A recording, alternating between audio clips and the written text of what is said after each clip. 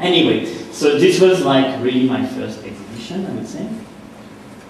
And at the same moment, um, so I, I, started also this project that some of you might know because it, it has been shown several times here in the UK, at the ICA, in different places, where I started to live on um, money-back offers, actually 100% uh, uh, money-back offers. Like there is like sold in supermarkets, you can find products with uh, offers like you have big logos, and stickers, and things that say first purchase free or satisfaction or your money back.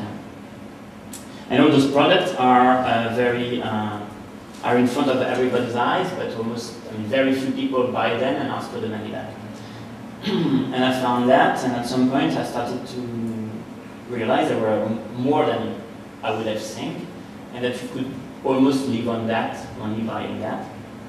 So I started to do that for myself, then open like uh, my first website in 96, early, I mean, like, beginning of the internet. I, the website got uh, registered very quickly on Yahoo and everything, and like in less than a year, had like uh, more than um, like about a million visits or something. It was like featured in many newspapers, many like in Le Monde in France, like magazine. And at the at the time in 96, 97, like every magazine was starting to have like one page at least, like website of the month or something. If you wanted to be a cool magazine, you had to have like, um, pages talking about websites.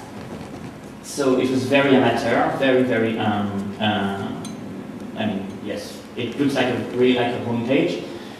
the funny thing was actually it was also produced within um, um the frame of uh, the first um, museum show about internet in France, connected to the Lyon Biennale.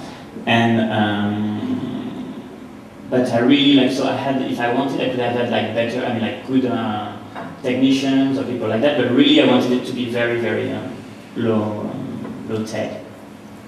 And so they were on the website were like explanation how to make, to buy your, uh, uh, the product, how to find them, how to locate them, what to write, etc., etc. You would have also lists of uh, uh, products and listings and uh, I would interact with people. They would write me and uh, saying, I found this one, I don't see it listed on your website, I will list it, and so on.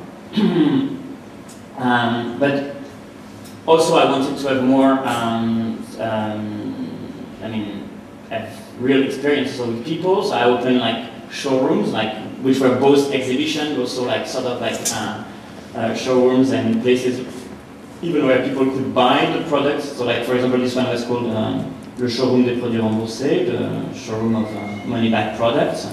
Um, it was in 97, I think this one, so like this is part of the display. You would have like a table with all the products I could have found at the time. Um, you could buy them, like there was a real fridge, and instead of like shelves, that would be a fridge, people would take the thing there. attached to each uh, product was like the original uh, receipt from the supermarket or the places where I would have bought them. We would resell them at uh, same price.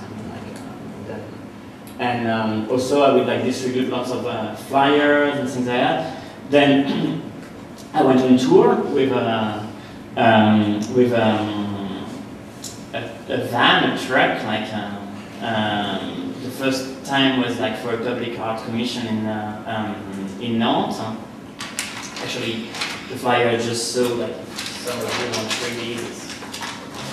You can have some. Sorry, it's in French. If you can pass them on. And for those who don't understand English, sorry, I have only very few who don't understand French. I have also some in English. People who sit on couches, maybe like in first class, like them.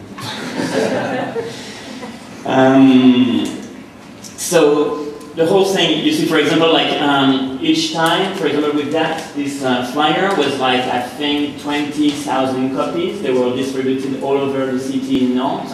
Uh, and also sent as an invitation card within the art world. I mean, uh, you wouldn't be surprised to know that most of the people in museums or places that received them in an envelope, so it was just like an advertising flyer descended in a bin, and trash bin very quickly, I guess.